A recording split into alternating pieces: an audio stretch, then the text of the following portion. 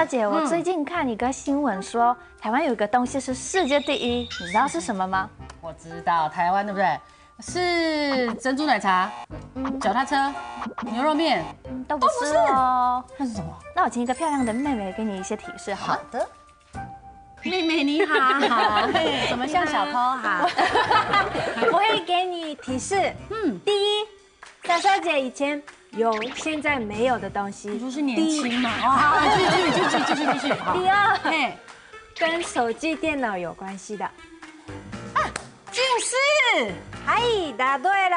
好，对，就台湾就是有近视王国之称。根据统计，台湾人近视率有约百分之四十二，是世界第一。哇塞，这真的我意想不到哎！到底世界上还有什么意想不到世界第一呢？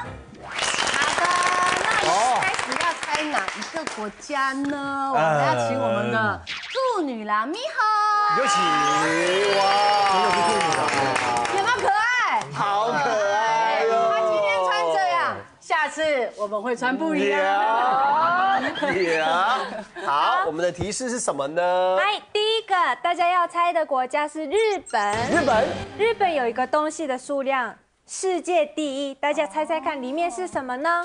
提示一，跟时间有关系的。第二，有些创造出。世界文化遗产。好，来来来来，猜一下，猜一下，跟时间有关系。好，雪儿有想法了。啊，可能是全世界最多找不到女朋友的男生。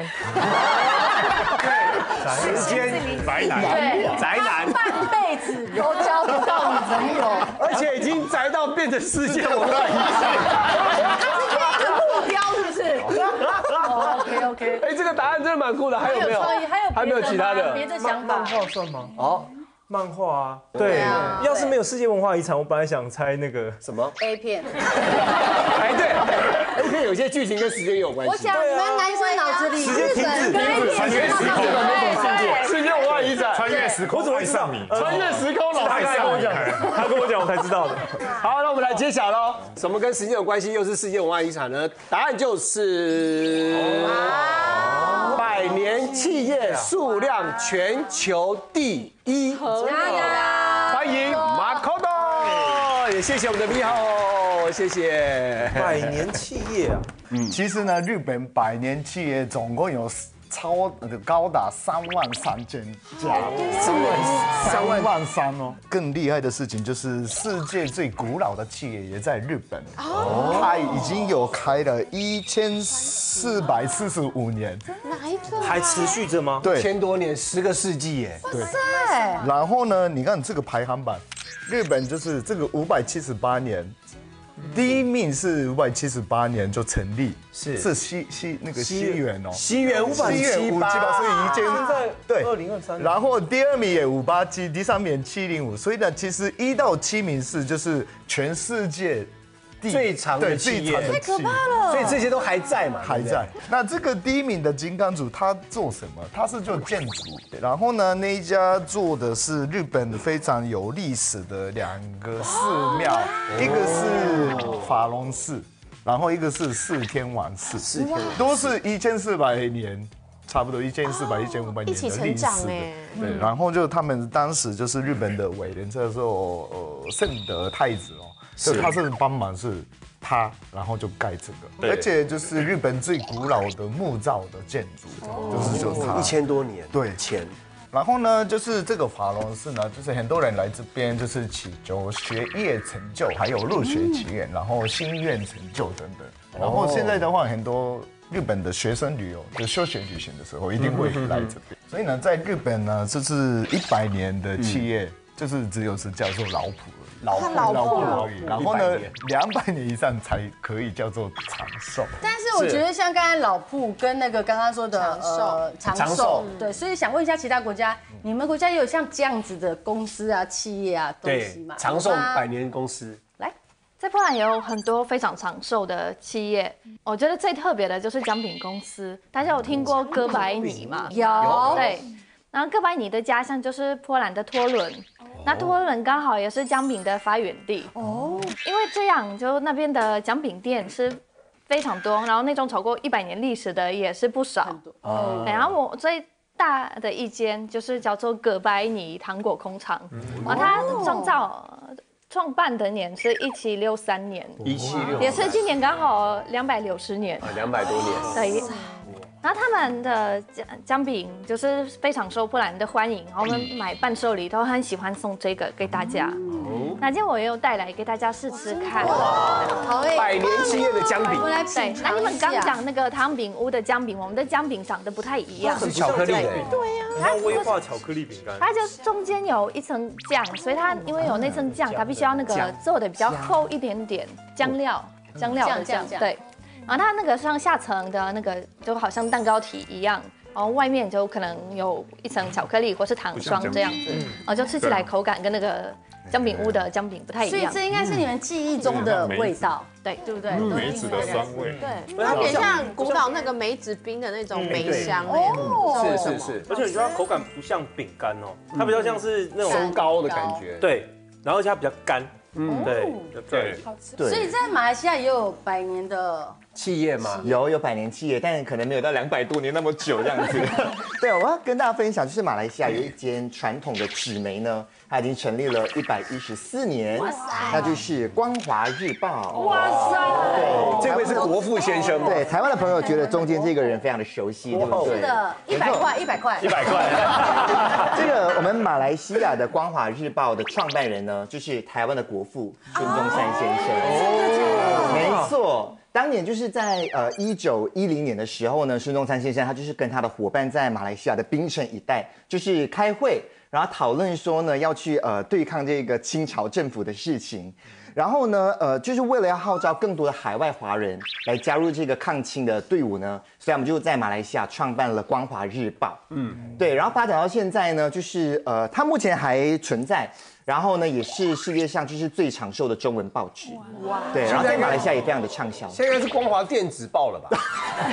网络上也有吧，还是有人在看那个传统的纸报。纸。因为台湾有一些百年的老木屋，它上面你可以看到一些报纸的墨迹，他们以前都会纸糊的。对，都会拿那边去对。粘，然后去放在上面。所以报纸是个好好东西，总结。光华日报，大家还是要多多阅读报纸。是，我们国家有很多有百年历史的产业，大大部分都是 pub 啊跟饭店、酒店。对，那像这一间呢，它就被称为世界最古老的饭店之一。对，它在一二零三年开业的，而且到现在还有在营业。它其实，在 Cambridge 上面一点不远，如果想去体会、体验看看的话，是可以去住的所以这是。传统中国人家里会有非常传统，然后因为大家就很喜欢，就是 Royal Family，这边他们墙上就有挂去住过的以前的国王跟皇后。对，那大家如果想说，哎，国王住过，我也住过，就那种感觉的话，就可以去看看。八九百年的饭店呢，哦，哦，历届国王都有去住过，我们也可以去住住看，不对，所以这个是百年百年企业是第一。谢谢马克东。接下来是哪个国家呢？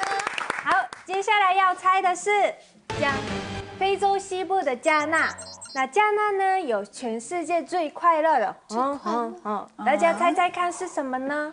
提示一，在其他国家会让人哭的。第二，有些人会很害怕。哦，全世界最快乐的国家会让人哭啊！有什么想法吗？婚礼嘛，对对，婚礼婚对。婚礼都开开心心，没有吗，可是在其他国家也会有人哭啊，比如说像女儿出嫁的时候，爸爸妈妈就哭的。那为什么会害怕呢？因为有些人讲婚姻是爱情的坟墓啊。一定是婚礼。过来人，过来人。而且那里可能结婚年龄很早，然后大家还很懵懂，然后就嫁，所以我很害怕，想说嗯什么是婚姻，可能都不知对道。，我们来看一下正确的答案是什么呢？答案就是葬礼，这全世界蛇厉害的葬礼。哦，告别式是不是？是的，好的，谢谢，谢谢谢谢米好，这边我们有请小刚。的。你有参加过全世界最快乐的葬礼？哦，我那时候去的时候，我真的觉得有点惊呆。嗯，就是照理说，呃，当然世界各地有很多不同的形式对于死亡，可是这大部分都比较是死后。对是死后我们在每年的缅怀，它是用比较欢乐的形式。嗯，对。但是在加纳很特别，是它是你死掉的当下，大家就很开心。耶！那个整个第一场葬礼，这样子吗？就哇死得好，哎呀，真的假的？哎，你终于解脱了，应该不是死的好吧？哎呀，好，死的好，终于死了不是，因为对他们来讲就是解脱，没有上上葬礼，将他们来讲啊，就是他们有一句话这样说：你想要知道到底有多少人爱你，是你死了就知道。啊，其实其实我那个时候去的时候，我看到他们葬葬礼啊，他们还会贴类似像宣传宣传的广告。你说，我觉得你用讲的，然后我们就觉得你一直在胡乱。我 真的不是真的，我们看一下 D C 就知道，真的有全世界最快乐的丈夫。来来，我们来看一下。加大人呢，对于死亡这件事态度其实真的很开放，因为一来到这边看到最不一样的是什么？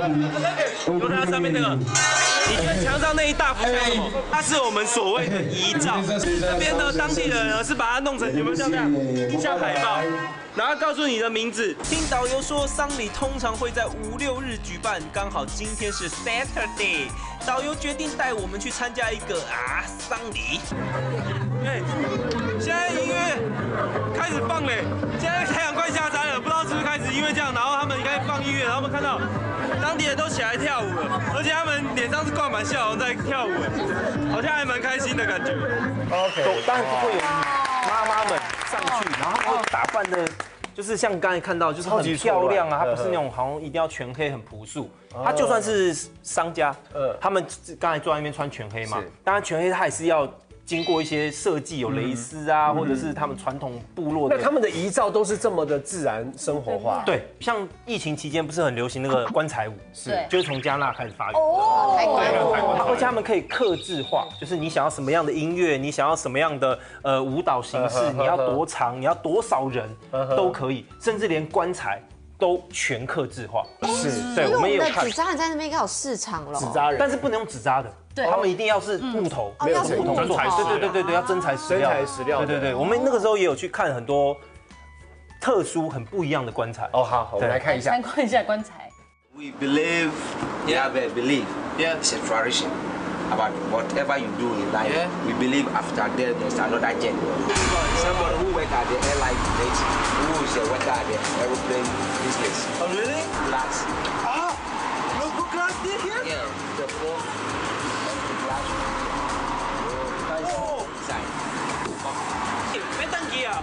帮你叫一下，五五六八八。你上三楼。呀，你上三楼。开门没？呀，开门。Who ordered this one? Businessman. The businessman. 哇哦，哎，我可以进去。虽然这是人家定的啦，但是我想说进去看一看也好。先，我第一次进棺材。这是 my。哎，勇敢。你辛。I won't close you. Hey, hey, they close. You can close, but open for me later, okay? Okay.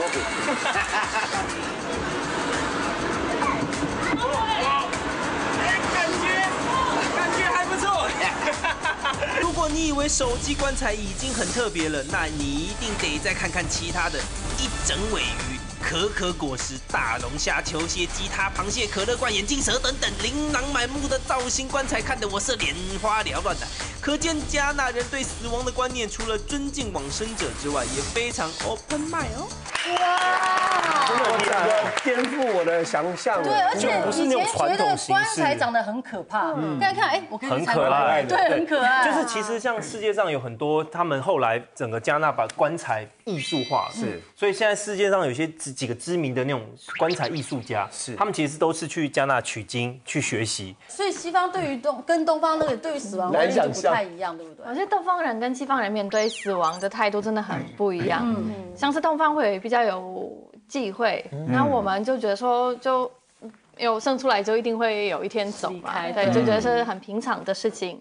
那像是因为就是因为这样子，我们在波兰很多公园就是顺便规划成墓园，所以所以。例如我们那个有一个欧洲其中最大的墓园，它就是一个公园这样子。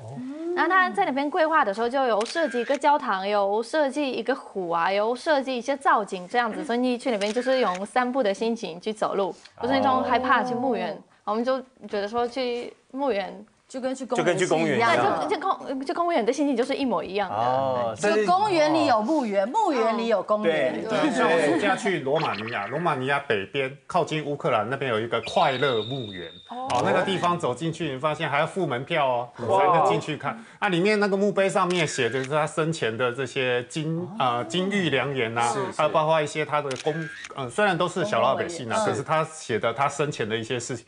走进去，你发现会被它那个鲜艳的色彩，哇，这个感心情会变得很好。对，感觉是不感觉，所以它叫快乐墓园。哦，我们是像我们去蒙阿波，哇，赶快赶快过，赶快过，白天去都觉得很冷。对啊，尤其那个照片，但老人家都说不要看他们眼睛，对，不要看他们看。然后看到上面字，不要念，不要念，上面呢，想法真的不太一样，对，很不一样。OK，谢谢小刚，谢谢。接下来国家是哪里呢？接下来要猜的是南非。南非，南非有世界第一疗愈的吼吼吼，大家猜猜看是什么呢？提示一是一个景点，提示二有不怕人的动物。驯鹿？谁？驯鹿？那个吼吼吼跟圣诞老公公一样。吼吼吼也是提示。不要被打。北极熊。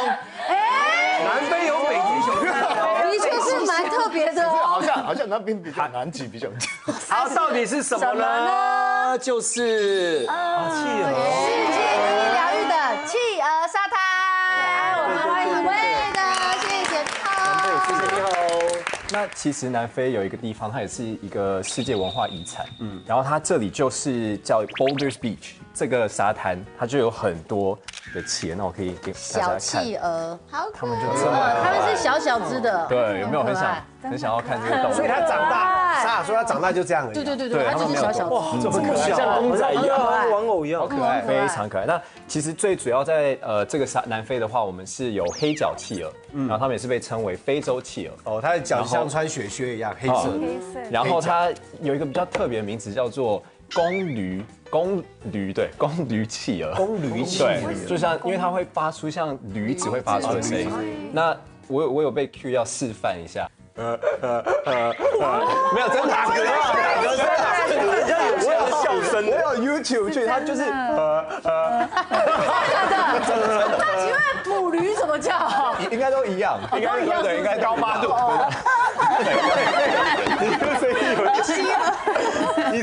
小刚，好好聊天，不要再想歪了。OK，好，原来高八度就变这样了。这个地方为什么会这么有名？它其实也就是因为它是在离那个城市开普敦，这是在开普敦很近。那对，它就是在市区的附近，所以非常近，非常方便。是。那另外呢，大家其实是真的很少是有这个机会可以看到，哎。这么整个沙滩都是，你这个还算少，企鹅比人多。那时候去的时候超级多。它好像是世界上唯一在呃亚热带，就是属于比较热热带的地方品种的企鹅。没错，那其实它是保育类吗？可以去摸它吗？没有，所以他们那边都会有呃招牌，会跟你说不能去，不能去摸它。但是。但是你可以离它非常近。如果要付钱，你可以到这个沙滩上，嗯，然后你可以这样子跟他们互动，嗯。那所以这个，如果你不想要花这个钱的话，其实也可以不用花这个钱，对，因为像我们就是没有花钱的，对，就是这样进去。它有一个步道，步道，对，它这个步道是你边走，它也很长，对，你就可以对，像这样子，这是对，会遇到，对，而且我那时候是还有遇到企鹅，就是在旁边，然后他们两个在那个。这应该要跟企鹅怎么怎么那企鹅走到人行步道要分。对，就是在做一些开心的事情啊。对对对。而且我就只是这，他离就是这么近而已，这样子看着他，他就在这里开心哎。他说太开心了吧，不管。第一现场没有，就自己在开心。而且也没有管理员，他们就是一个告示牌，很可爱，很可爱。那除了你当然在这个步道上会看到企鹅之外，也有一个叫做 Daisy。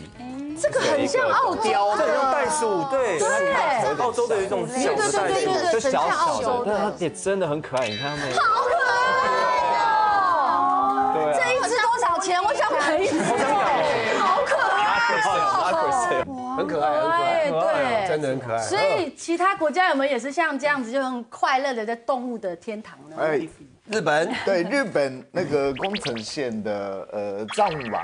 狐狸村哦，很有名。对，那边有就是大概一百多只的狐狸，都是一整年都可以看。而且这个世界唯一哦，就是专门吃鱼饲育的是狐狸的一个的地方。来富裕。对，那它的话大概有六种，对，六种六个品种。对，除了那个通常大家比较熟悉的这个北海道的狐狸以外的时候，还有什么那个黄哇，白黄雪狐，冰山雪狐。然后如果要去的话，冬天的话就可以拍的那个后面是那个白雪，然后就一起可以。每次在雪地里最期待就是看到有一只狐狸跑过去，都很可爱。对，还有呢，春天的话就他们的那个小孩子，小狗吗？那个好可爱，对，好可爱，非常漂亮，而且它的入场费只有日币一千块，台币大概两百亿、两百二，对，所以这这边是值得去。谢谢马哥，谢谢，谢谢来看一下我们的提示，还有国家。接下来要猜的是波兰。嗨，波兰有个东西数量全球第一，大家猜猜看是什么呢？第一是一种动物，第二跟小小小小小生小孩生小孩有关的，第三会带来好运。我猜猫头鹰，猫头鹰为什么？因为台湾少族日月潭少族他们的送子鸟就是猫头鹰啊，对。我在想有没有关联？所以很多木雕是猫头鹰。对哦，到底什么东西跟动跟我们数量是全球第一的是波兰送子鸟，送子鸟数量全球第一，在波兰。我们欢迎 Anna，谢谢，你好，谢谢。其实很少人知道波兰有很多送子鸟，甚至是世界第一。因为很多人就听过，就是那个欧洲传说，就是送子鸟就会送小孩子给渴望小新生命的家庭。对，但是这个是季节限定，因为他们冬天就会飞去其他地方，对，因为太冷了，所以可能春天大概三月到十月都比较会遇到，对，比较适合生孩子。对，然后他 好容易离题哦，好，真是有道理的。好，然后我们其实很多那个送子鸟就会筑筑巢在电线杆或是屋顶上面，我们会相信会带来给这个家庭好运。然后我们还有那个送子鸟村啊。所以他们就特别就群体在里面就会很多只鸟天在一起的。你看，如果在你家屋顶，你这屋顶就这么大，怎么样哎？哦，大家会非常心，非常期待，或是这样子，他们就哇，太多人了，子孙满堂，真的。哇！而且我要跟大家说，送只鸟它不是一个传说，它是真正的事情。那个时候是爸爸还在军队里面，然后他就那个回家休息。一段时间，后来回去部队之后，啊，他说在那个公车上回部队的时候，就一只送子鸟跟他对到眼，哎呦，然后他就记得那个印象非常的深刻。然后后来回到部队，就那个过了一段时间跟妈妈联络，妈妈说有了我，好神奇哎！所以其他国家有没有什么也是像这样求子啊、求好运的方式？哎，来日本，日本，日本呢，就是当然这个祈求那个生小孩的时候，还会去就是神社。那有一些神社的神。名真的非常的特别，那最有名的是日本爱知县的一个田县神社，那它的呢神明长得怎么样？哦，就是这是我们想的那个吗？棺材吗？阳具神。哇，阳具神就是男男生的生殖器就对。哇哦，对，那这这边就是，但但是呢，除了那个安产啊，还有生小孩之外，还有就是一些他们有夫妇圆满，然后还有一些农产物多产的，也是就代表象征，所以也是那个可以是五谷丰饶的事情。那他们呢？每年一次呢，办这是一个丰年祭。那他们的丰年祭就这样，很多，很多都是年，不管是年轻女生，他们都带神明，他们是神明，非常对神明。所以呢，其实现在很多外国人去那边。其实外国人也很想要看，所以就外国人。哎，这其实，在印度啊，印度教有一个神叫湿婆神，他也是生育之神。你可以看到它幻化成不同的形状，有一种就是男生的阳具啊。我们看到觉得很害羞，可是像日本啊，或者是印度人看到觉得这是很正常，对对对，很正常。对，重点它的形状非常完美的。听起来有点羡慕哎。对，它很完美，九十分，九十分。行。嗯，在德国我们有一个那个烟囱清洁工。哎，你说圣诞老公公吗？烟囱清洁工。圣诞老公公对，从烟囱从烟囱进来。他那个圣诞老公就是会掉下去的，他不会帮帮你清洁。对，他呢，嗯，我们就是看到他就是代表好运。哦，对。然后如果他来你家，呃，把你的烟囱清干净，他就是给你一个小猪，因为小猪也是代表好运。哦。以前的烟囱很容易，如果长掉的话，然后你没钱请人家来清洁，会卡住，然后你就你的整个房子就没了。哦。然后他来了，把它清干净，就是代表你以后会有家了。要发生。对。所以代表说，我们家我们把家里顾得很好的意思。没错，哦，所以好运的。嗯，好的，那我们谢谢谢谢多说啊，接下来呢，要猜的是智利。智利有个东西产量全球第一，大家猜猜看是什么呢？提示一，在日常生活中很常接触到的。第二，接触到空气会变色。第三。是最早发现的化学元素。只讲前两个，我会想苹果。苹果，智利的苹果很有名。哦。只讲前两个的话，跟水果有关啦。没有，跟化学是化学化学元素。化学苹果也可以啊，铁质。啊，那就猜铁就好了，你就猜铁啊。好，我们来看是什么呢？就是哦哦，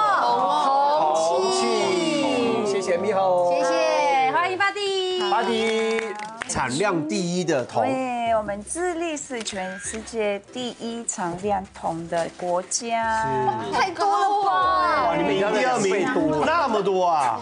第二名是秘鲁，是我们的邻居。嗯，其实铜它是一个元素，不管有没有，我们有，其实我们说我也没发现，但是我们会接触到。但其实铜有很多蔬菜、很多坚果里也有铜，因为我们的身体本身就是需要铜。它是一个微量的元素，然后我们很喜欢用。像智利，如果你去市集，会有很多很多这种，对，这种这种就是它是手纯手工的。嗯。然后智利人很喜欢收到这种礼物，它就是漂亮，它就是 pure，晶晶的哦，它就是纯的。然后为什么它那么重要？是因为它会杀菌。如果你去智利的饭店，有很多都会有这种浴缸，所以不要用沐浴乳进去杀菌起来就好。不是，就杀进了。不是啊，那没办法杀进我们身体的汗。哦。但是它就是有不行的了。然后我们现在其实这里有很多袜子啊，铜做的，铜就是它里面有这个成分，有铜线，它有这个成分，对，从线很细的线，因为它会那个味道啊，会过滤味道，就不会臭。对，杀菌杀菌。真的假的？我知道了，为什么？确定的。还有内裤呢。内裤。哎，我知道为什么台湾有十八铜人，对不对？杀菌，杀菌跟杀味道，对，技术很棒哎，真的。因为有些味道比较重，一点，很需要内裤，对啊，是我们智力第一，很厉害吧？而且你们你们智力的人都没有味道，真的。没有味道，你看。没有味道，都也不会有。智力的人有智慧又厉害，厉害。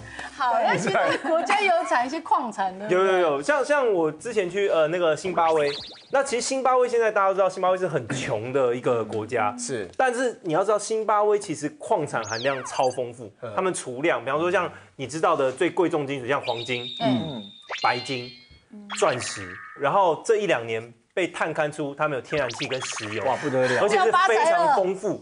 对，感觉应该超有钱，对，要发财了吧？美国又要来了，但但我跟你讲，这个国家很特别，我觉得他们的矿产产产量很丰富，但他们没有像这样子这么多无菌，所以他们现现在为什么很穷？他新巴威币啊，算是全世界这个币值面额最大，最大是。多大？你看像我手上这一张。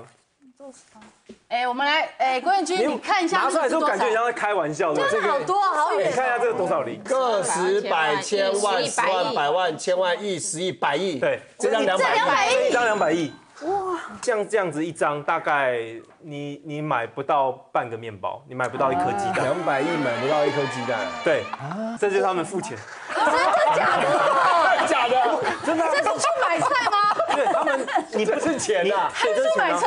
这不会被抢？没有，他们吃饭。吃饭。但他们现在，所以现在这个新巴威其实算是旧币了。对，他们现在已经又换新的新巴威币。然后其他在他们国家现在基本上都不用新巴威币了，因为通膨跟那个太通膨率太高，他们通膨率到几十万，百分之几十万倍。哇，但是他们资源这么多，为自然资源这么多，为什么还这么？是因为政策啦，很多其实政策帮当当时的改革，就各种环境，政府啊，对对对，他们的存存量矿产存量很多，然后其实也有很多人去当矿矿工啊什么，可他们的生活却是不一样，这悬殊太大了，对，可能比较有味。OK，然后这个其实马来西亚呢，曾经它也是呃锡矿产量最多的国家，对，但是因为后来过度开采的关系，就有被其他的国家超越了。哎呦，对对对，但是呢，我们马来西亚现在有一种东西呢，是呃产量世界第一的，什么？就是我们的橡胶制品。哦，对，虽然说我们马来西亚呃就是产橡胶的那个量呢，就是不如泰国跟印尼那么多，但是我们制造橡胶的量是很多的，大家很常用到的这个橡胶制品也是全世界第一的。你说那个吗？夹链带哦，保险套。我想都是歪歪的。在讲那个。你刚才是不是其实想讲保险套？在那边装可爱。我是没在用。对，呃，大家应该都知道说，就是呃，全球最知名的这个保险大品牌是英国杜蕾斯，对啊，D 开头。对，但是制造呢最多就是马来西亚。那我们马来西亚制造的这个保险套呢，就占全球的百分之十五。那他们就是自己的品牌呢，也是蛮有创意的，就推出一些很接马来西亚地气的这个保险套，不会榴莲？榴莲味，没错，哇，真真的是榴莲榴莲保险的保险套，它 会有刺吗？啊，不，没没有啊，太刺了，太刺了吧？但是因为榴莲还可以理解啊，就是有很多水果的味道嘛。对啊，但是他们之前呢也有出过一种那个味道呢，就是马来西亚的椰浆饭。椰浆饭对，椰浆饭口味的，就是辣辣的，那有没有拉萨香的？拉萨有没有拉萨？拉萨的话目前还没有出，好可怕。对，但这就蛮有趣的。他们对啊，哎，我觉得你们可以出夜光的，就是关灯之后看到哇，星际大战了，里面的口味好重哦。对啊，大战。我在想那画面一定很可爱。好，谢谢 Buddy。下一个国家下来要猜的是。英国，英国有个东西种类全球最多，大家猜猜看是什么呢？提示一，跟电视有关；第二，有真的也有假的。好，跟电视有关，有真有假。新闻。A 片，A 片。啊，英国研究报告。不是跟电视有关，我知道那个那个呃做食物的，他们很多做面包、做西点的比赛，英国超多。来来来，刚刚有人说 A 片是不是？A 片日本更多吧？日本不要谦虚，有可能种类方面，种类种类，真的吗？哎，到底是什么？好，我们来看一下英国是什么呢？就是实境实境秀，种类最多。OK，谢谢猕猴，谢谢，欢迎 Natalie。我们英国真的很爱看实境秀，我自己都有去报名了，而且他们就是像比赛类型的也很多，像你刚刚提到就是烘焙啊、PK 啊，对那种实境秀现场，然后像大家像才艺啊、唱歌跳舞啊，然后改造啊，十三道，对啊，像 Britain Got Talent，像也有美国就很多，就非常多。那我觉得其中。我们最喜欢看的就是恋爱的 dating show 哦，你们也喜欢这种？对，没错，我们光是就是 dating show 这种的实境秀就超级多。我们从可能就是这种一般约会啊，对，大家就是认识去餐厅见面，对对对，对，然后到可能就是辣到不行，把帅哥美女放在一起，然后就是恋爱，三不男女，然后我们也就是哎，把他们就是弄得很丑。完全看不出来，说哎，他们是哪种种族，长什么样子？不能依照外貌，因为没错，就是要动物，动物什么？对，动物，或者是把它画成很老的那种 witch 都有，对，就是要看内在，对呀，然后甚至 dating the dark，就是黑暗到不行，就是看不到，然后你就是常会做一些暗处会做的事，他们就故意去抱那个人，就说哦，原来他露露的，其实就还是有点嗯，所以后来什么 love is blind 啊，就是隔一道墙，他们就是互相。聊天，然后去认识对方，然后对，说从看不到的，甚至到全部看光光的都有。哇，全全裸的，全裸。比的盒子哦。这个就是说我就是看外表，所以可能像我今天是来宾去，他就可能像我是女生去，他们找了六个男生，他就会慢慢的一个一个揭开。那可能先看脚，他就说哦这个脚嗯太细了，可能脸长很帅，那个人就说啊糟糕我后悔了。对然后他就又到前面就是生殖器官完全看得到，然后还会转一圈。节目啊？什么时候播啊？这是正常的电视节目晚上吃。饭都可以看，因为他他没有就是做爱，所以他不是 porn，而且他会把它弄的就是裸体耶，他裸体是 OK 的，在英国。OK，然后而且他是蛮有教育的，因为他像在就是有生殖器官的时候，他还会有人在解说说，哦，其实有些生殖器官长这样是因为什么什么元素，他还会 zoom in 哦，就是 zoom in 到真的假的？毛细口都看得到 zoom in 啊对，整个毛细口都看得到，就是非常里面，然后他就讲说，哦，女生可能这个 shape，然后什么这样，他会就去讲，所以其实你同时可以你现在这样讲，我心跳就在跳了。现场爱教育耶，这算性教育耶。而且我刚刚听说魏其实也知道这节目啊，有在看哦。没有看，我没有在看，我只是 我只是参加过，没有没有参加过。哪一集哪一集我要看？我要把脸拍下来，再上网找这个脸搜他这。次有开发，就是大家都可以去报名，就是哎，我今天想要去找我的，you know the one 就去。刚刚就说我就是看外表协会，可最后你来宾你要全脱光，我觉得这很挑战，因为重点对挑战是我去我要被脱光以外，我还要被检视跟哦这个比较歪，这个比较而且你将来出去到路上，人家会用什么眼光？对看到你直接就看到你的身体，听起来我旁边的两位有点自卑，有一点。我是不怕。其 实就真的什么，就是像可能有自闭症恋爱的节目也有，然后甚至 LBGT 的，就是男生女生的，对啊，就是各式各样，蛮健康的啦，对啊。可是我之前看过一个最最毁我三观的实境节目，是美国的一个莫里秀，你们知道这个吗？莫里秀秀他是找就是人家上来，然后带着自己的孩子验 DNA，他是不是那个孩子的爸爸？好硬哦就是对，因为他有可能牵扯到一些赡养费，然后一些金钱上面问题，所以到最后那个节目就会变成一些家族的战争。就是那个那个，比如说这个女的跟他讲说你是这个孩子的爸爸，那男的就说怎么可能？我上次只跟你一天而已。然后另外一个男的就曾出来说我才是这孩子的爸爸，然后他就会验 DNA，然后验 DNA，然后有吵架什么对，对，然后凡哥吗？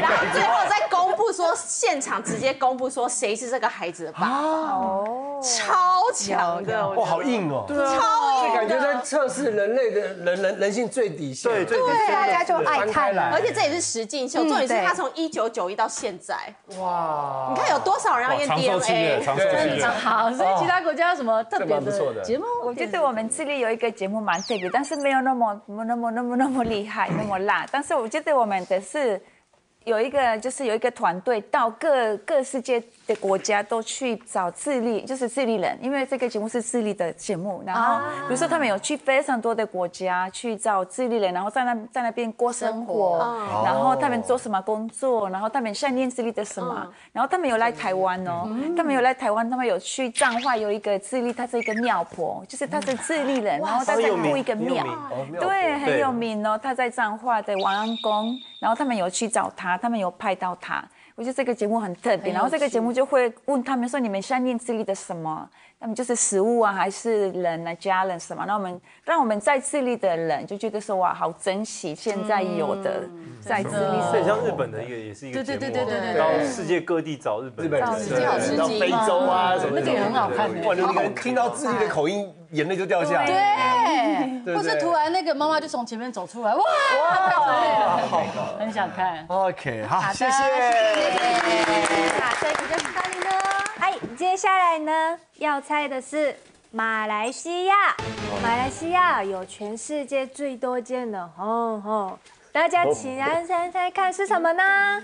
嗨，提示一，跟旅游有关的；第二，可以睡觉的。这个好难。今天好我知道，我知道，因为我们业界有一句话：上车睡觉，下车尿尿，所以是游览车。游览车游，览车，我知道，我知道一个就是安眠药。安眠药。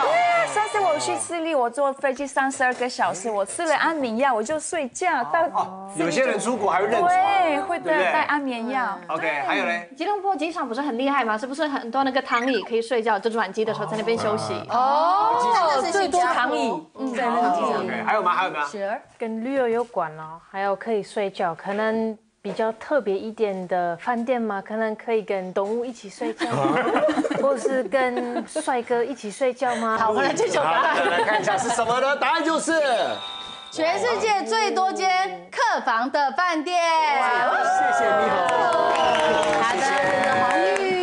因为讲到马来西亚呢，其实我们大家都心知肚明，很多东西都比不上别人的国家。不会这个更是保险套不厉害，保险套这么厉害，颜值这么高，这么多创作新歌手。好，谢谢。好，但是呢，我们的政府呢，就是苏当嗯苏丁啦。嗯，我们在建筑方面呢，可以建多大就建多大。嗯，所以呢，我们呃马来西亚呢，就是有一间饭店呢，它叫做 First World Hotel，第一世界饭店。那这间饭店呢，它其实早在呃两千零六年的时候呢，它的这个客房数就是多达六千一百一十八，这么多太多对，二零零六年哦，而且当时还有被载入二零零。六年很久以前呢。对，全国而且当时候有被载入这个金氏世界纪录。六千多间，那个游客那个房那个那个房务员会多累啊！对，然后呢，就是虽然说我们呃后来有被美国的这个饭店就是超越了，他们抢到了这个第一名的宝座，嗯，但是呢，我们的马来西亚就是苏丹嗯苏丁，我们呢在二零一五年的时候呢，又把它的客房数扩增到七千三百五十间，所以它现在又变成第一名了。这到底是哪里啊？所以你们在对啊。这个是在云顶高原，啊，因为其实云顶有赌场，所以很多人可能一赌成主顾，而且因为在这个云顶也有这一个就是主题乐园，嗯，所以是有很多亲子家庭啊，就是而且我们马来西亚人旅游的时候就很喜欢大家庭一起旅游啊，十几个人这样子，难怪这样子很容易客满的，对很容易客满。对，没错没错，哦，七千多间，是的，目前全世界最多的，没错很有特色。其他有没有人也有这种很有特色的？其实看到马来西亚那个很鲜艳的饭店，就让我想到我们南非有一个也很特别的一个，是我们算是其他国家最多的，那就是我们国旗的颜色。啊，哎，对，真的有点像哎，直接有点跟你们国家对，分。对。那其实我们这个它颜色很丰富，每一个颜色也都有它的意义。那基本上就是蓝色就是天空，哎那白色和黑色其实就是代表我们白人、黑人，嗯，然后呃绿色是代表我们的陆地，然后红色是血，然后再来黄色是金。那其实我们早期南非是产很多金金矿的地方，但是在近几年当时当然没有像以前那么丰富，所以但是还是算是世界排名前五名的，对，所以这个其实就是代表我们的人民，因为我们人民就是种族很多，所以颜色也就非常丰富，都有意义在。所以把所有东西都融合起来，就是一个南非的国旗。没错。对，哦，蛮蛮有意义的。对，我觉得今天认识很多不一样、很另类的世界第一，没错没错哎长知识了。真的，今天非常谢谢大家哦。下次见，拜拜。